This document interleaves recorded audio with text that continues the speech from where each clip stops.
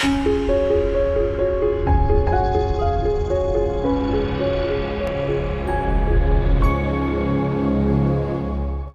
Mark O'Reilly, I'm from Complete Receipt and I'm in the Best New Idea category.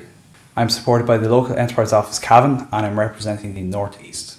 My new business idea is called Complete Receipt and we will eliminate the need for the paper receipt allowing the consumer to receive their purchase records at the point of sale through their smartphone.